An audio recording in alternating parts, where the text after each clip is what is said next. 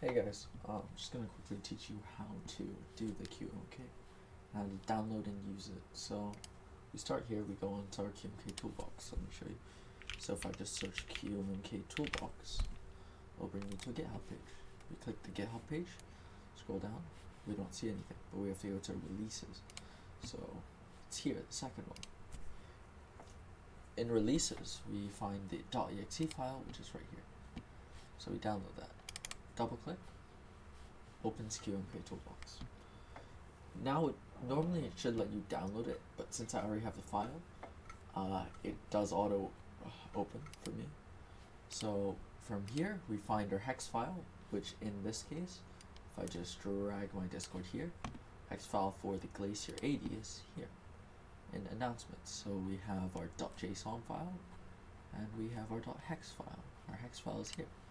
Let me just download the hex. Now we have our hex. From here, we go back onto QMK Toolbox. We select the hex file. So now it's here. Below your spacebar, underneath your PCB, there's a little button which you can use. I normally do auto flash, so when I click the button, it will start flashing it. When we're done, it should give us a success message. Here, I don't. I've already tried to flash the PCB. It's done, so I won't flash it again.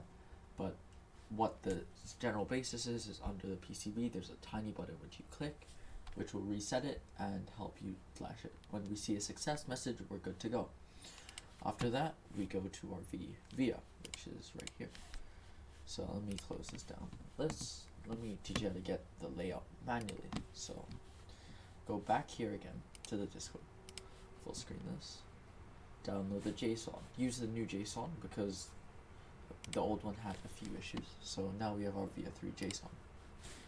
Normally recommend with how I set my things up is dragging the JSON to your desktop. So let me just quickly do that. So now it's on my desktop. Okay. Let's go to design, load, JSON, desktop, and we should just see the JSON here.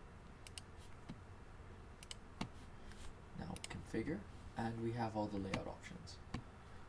People did say they had issues with the alt keys, so now that's been fixed. We should have access to everything. And you can rebind keys just by doing this, putting a layer there. So you can just rebind things. Here. Personally, I, I always set my F13 key to Windows, but yours can vary and with the VIA flash it will auto detect your CK80 VIA so you don't have to personally do it every time. Thank you.